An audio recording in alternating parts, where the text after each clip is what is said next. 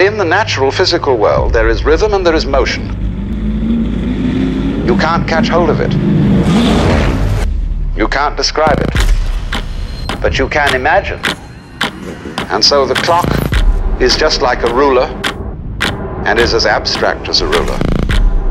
And time, then, obviously is a way of measuring motion. And you're driven by time.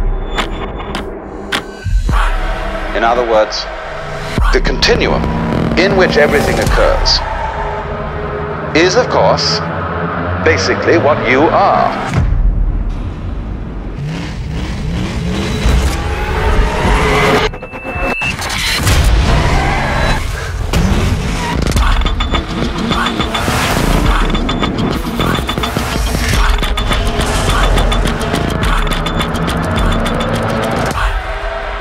And we do, don't we, live in a culture, or a complex of cultures in the Western world where we are literally driven by time.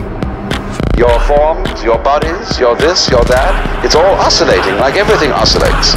It wouldn't hum if it didn't. Are we going to take time seriously?